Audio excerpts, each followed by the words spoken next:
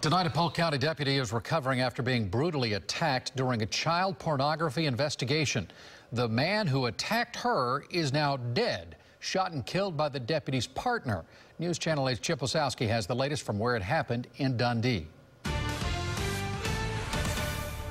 Deputies cleared the scene here after spending hours on 8th Street North here in Dundee. The sheriff's office is also now releasing the names of the detectives involved as well as the suspect who is now deceased.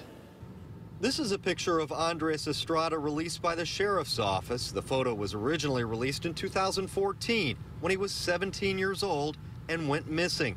On Friday, he and his younger brother Claudio were the only ones home the undercover detectives, a man and a woman, came knocking.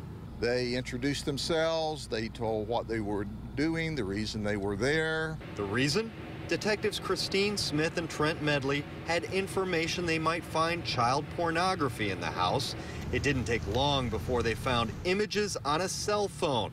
When Medley stepped outside, things went south. When the male detective went back in, and the female detective was screaming, "Get him off of me!" He and he's he sees him beating her and beating her and beating her and going for her gun. Medley returned and shot Estrada, who was pronounced dead at the scene.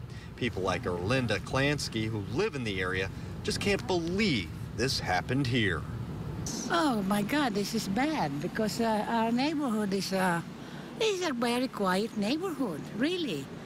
Detective Medley is currently on paid administrative leave, which is standard practice for any officer involved shooting. As far as Detective Smith, she was treated and released from a local hospital. In Dundee, I'm Chip Osowski, News Channel 8.